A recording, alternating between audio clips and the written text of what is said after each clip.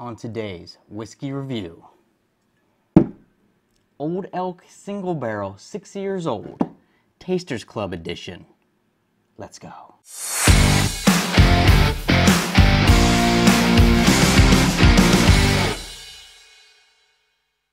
What's up, everybody? My name is Justin, and welcome back to another episode of Whiskey Tiers. And on today's video, we are doing Old Elk Single Barrel, six year old Tasters Club edition. All right, now, first things first, this bottle is decanter worthy. This bottle is an S tier bottle itself. The shape of it, the labeling, it all looks amazing. If you empty one of these, keep it as a decanter. Even the cork, look at that thing. We haven't even popped it yet, but it's got like the antler uh, kind of cork top there. It looks amazing. Old Elk is a cool sounding name. Everything about this bottle is on point.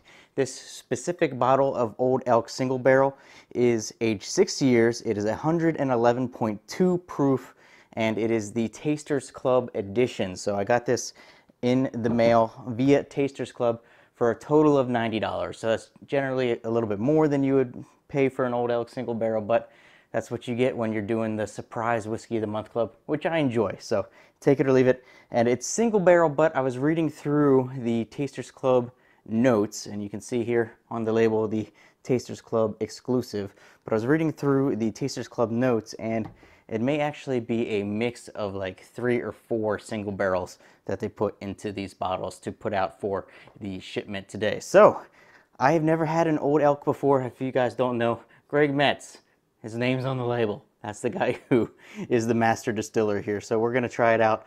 I've heard good things. The bottle is amazing. Hopefully the bourbon's just as good. All right, let's do the antler cork pop. Ooh, very nice cork pop there like I said, so cool. It's got some labeling on top of the antler cork there. I don't think it's real antler, but still looks really cool. All right, let's pour this out, see what we get. All right. Very excited for this. Have high hopes here. We've got a lighter orangish color here on this bourbon from Old Elk. We're gonna see what it's like on the nose first. And if you guys don't know here on Whiskey Tiers, we try everything three different ways. So we're gonna do that in today's video. A woody smoked caramel, some marshmallow in there. Just a hint of the red fruits. I think they're more of a light red fruits, kind of like a unripened strawberry or Yeah, like an unripened strawberry or maybe even like a really, really freshly picked plum that's still kind of hard that hasn't really softened up into that nice plumminess yet. But that smoked caramel and that woodiness is predominant here, what I'm getting on the nose. The nose is very nice. I like the nose, the, that, sm that smoky caramel, woody. It's not like overly woody. It's just that nice balance between those three main components there on the nose. And then you get that little bit of extra red fruits mixed in as well. Not really too much spice. Maybe a hint of cinnamon. Hint of cinnamon in there. All right, so we've smelled it. Now let's taste it. Mm. After the finish is a little off. The finish was the worst part so far, but that initial sip was really good. Got the woodiness, got the caramel, got the smokiness in there, but the woodiness up front was a real nice and light woodiness. Where it got a little bit weird was when, when it went to the back of the tongue and got into the finish, it got a little bit bitter on the wood, a little bit strong like a fresh wood that you just licked. But let's try it again, see if we get the same notes. Just a nice, smoky, oaky caramel up front. This one not quite as bitter on the back end, a little bit more vanilla on the back end, just a maybe a hint of clove in there. I'm not, not getting the cinnamon as much, maybe a hint of clove.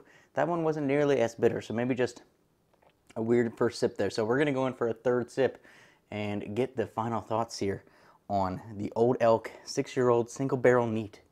Yep, that's really good. You get just a hint, a hint of the sweet fruitiness in there. You get a lot, a lot of the smoked caramel, and you get a bunch of the oakiness, but it's a really nice oakiness. This time I did get a little bit more of that fresh cut, bittery kind of oakiness on the finish, but it does leave you with a nice vanilla caramel finish otherwise, but it does have a little bit of that bittery oaky finish on the end. So I still got a good amount in there, so before I add the water, I'm gonna drink a little bit more before we proof this thing down a little bit from the 111 proof. So that was a big sip I took, and interestingly enough, that time I got more cherry in there. I got a lot more cherry when I took the bigger sip that time, but still smoky caramel. Really good. Really like this one so far.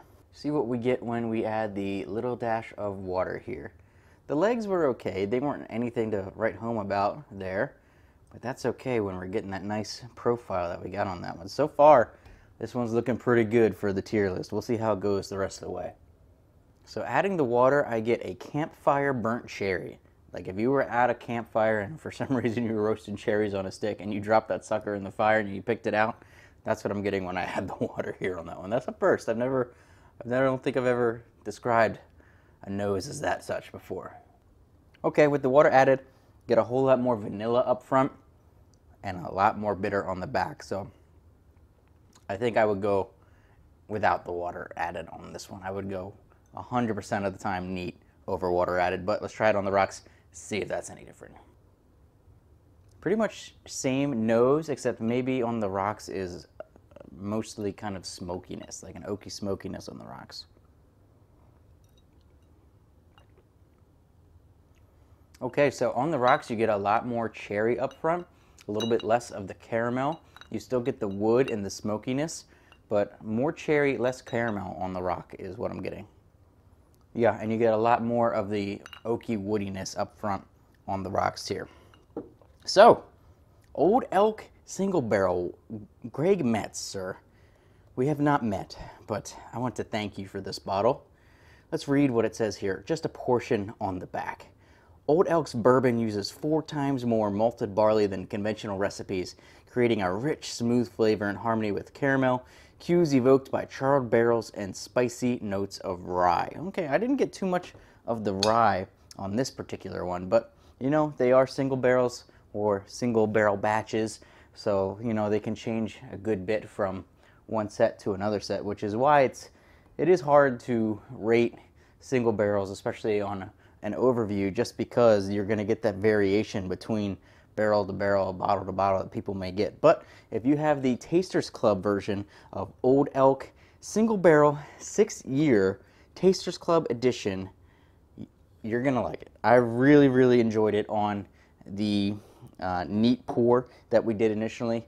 That smoky caramel oakiness was really nice. Got a hints of vanilla caramel in there, just a little bit bitter on the end, which was really the only part of this I didn't like. Like I said, absolute A plus bottle. I'm looking forward to trying some more stuff from Old Elk going here into the future. But what are we gonna do for the tier list today?